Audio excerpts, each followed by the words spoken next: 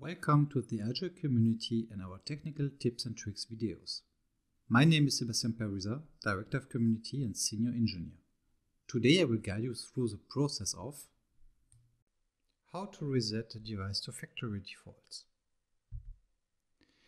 There is a couple of reasons why you want to do that. One of them could be that you assigned a configuration to your endpoint which breaks some specific behaviors or sometimes a script that you created locally or using uh, find a network command or sometimes even a custom partition can also have a couple of consequences on boot process etc.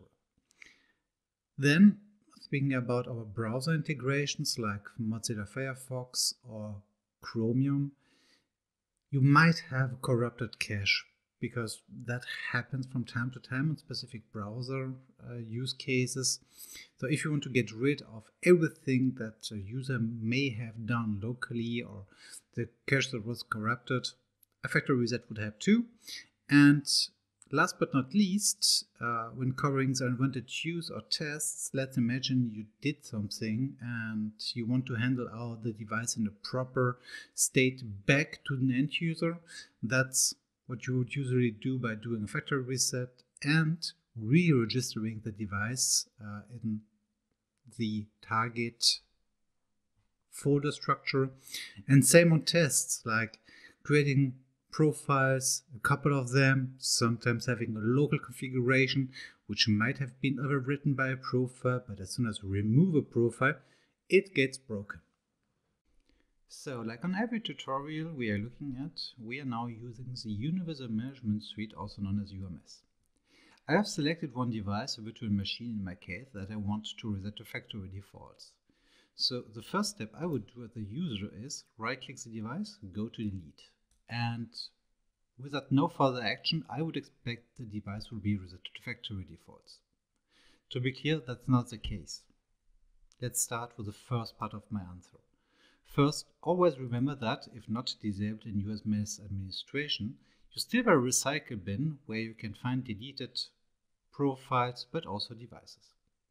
So, if you want to get rid of a local configuration made by a profile, you have now to go to delete from bin or or right click the recycle bin and clear it completely.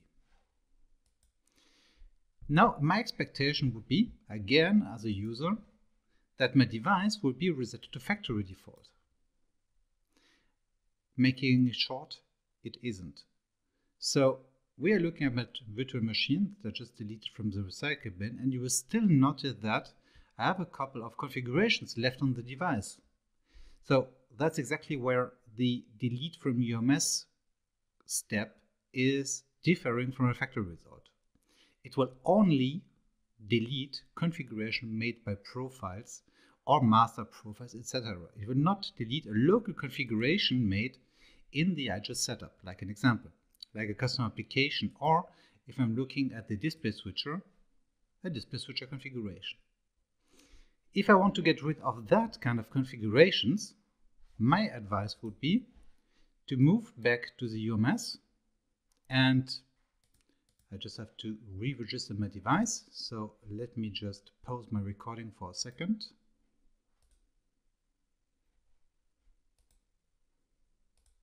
So my device is back and now I will right click the device again or the folder I want to reach go to reset to factory defaults and send now the real command.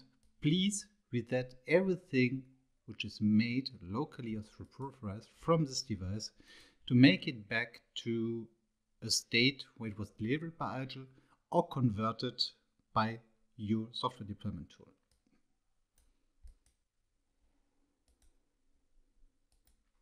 So now the device will reboot and remove more or less everything. When I say more or less, I mean everything but the license information.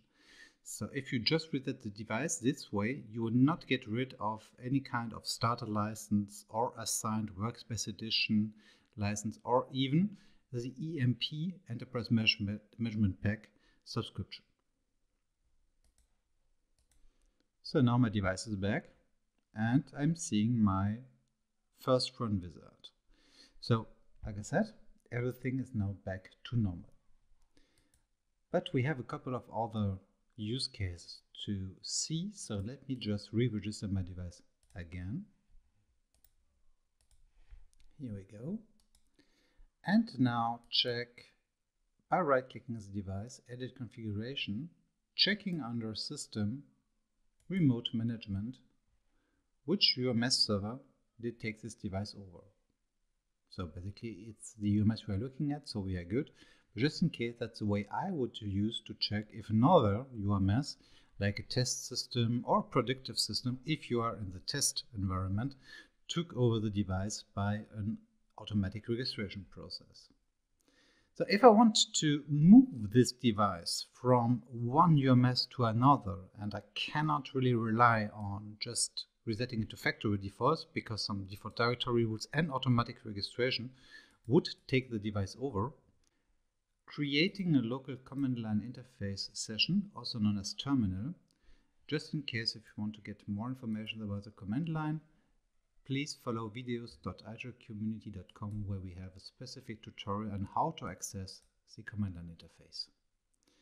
So I created my session, login locally as root, going to the partition called WFS, check if a file called server.crt is there, and removing it by using the command remove, so rm server crt will remove, let's say, the association between U1 endpoint and this one UMS.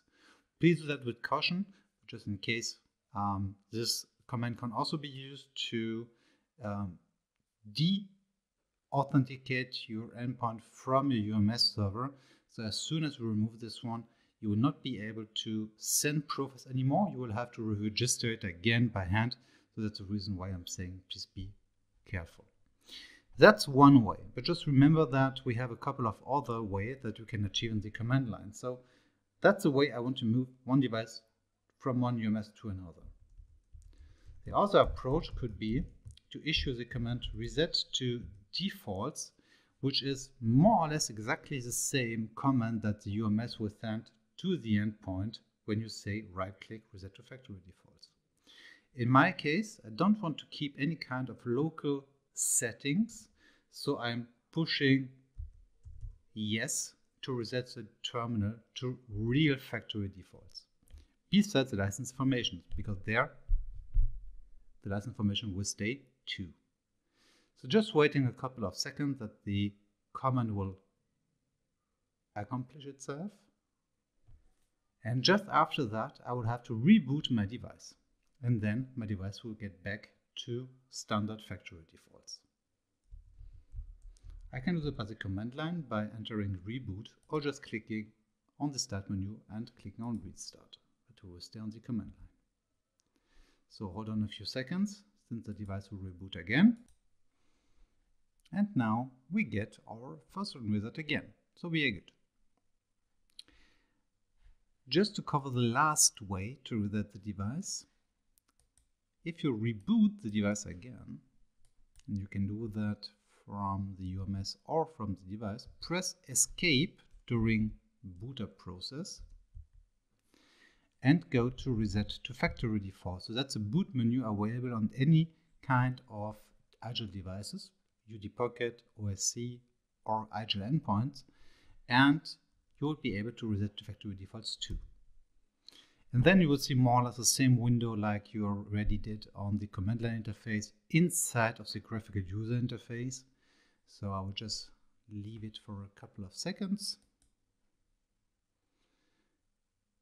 And here we go. So you see again, I'm able to choose if I want to reset everything or just a part of the configuration. So I'm always keeping yes for everything. And just keep in mind that the layout is American, so you have to press Z if we speak about a German language.